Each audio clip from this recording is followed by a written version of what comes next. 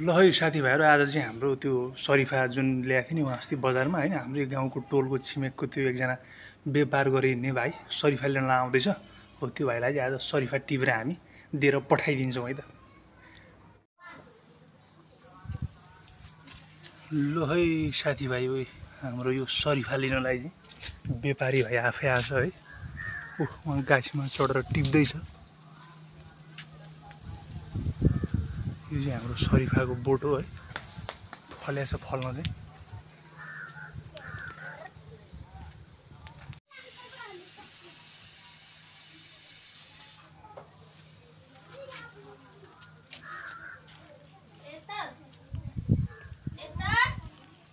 यो हो हाम्रो लोकल सरिफा है त यो। एकदम लोकल खालको सरिफा है अँ त्यो त्यो हुँदैन हो सेतो सेतो यो चाहिँ व्यापारी भाइ हो यो यो भाइले चाहिँ हाम्रो घरमै आएर यसरी सरिफा टिपेर लन्छ होइन। लैजान्छ। ल यो चाहिँ ठुलो खालको यो के हो भोगटे हो कि नेमो हो कि के हो? कागती चाहिँ होइन यो होइन। ठुलो छ यसरी फल्या छ। यो चाहिँ हाम्रो एकदम घरको अर्ग्यानिक है त। बोटमा मस्त फलिरहेछ अनि साथीभाइहरू हाम्रो चाहिँ यो त्यो अहिले देखाएको थिएँ नि तपाईँहरूलाई ठुलो खालको त्यो कागती जस्तो त्यो पनि अमिलो नै हुन्छ है त्यस्तो खालको त्यो अब नेमो भन्छ कि त्यसलाई कागती भन्छ कि के भन्छ ठुलो खालको छ त्यो चाहिँ अनि त्यो चाहिँ अहिले नलाने अरे अलिक पछि सोधेर आएपछि लान्छु भन्दैछ त्यो भाइले गर्न। किन लजा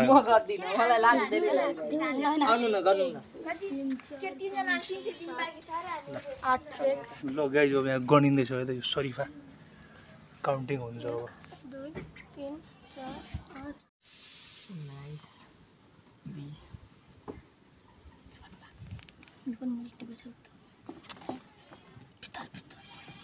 हटाइदिन्छु हेर न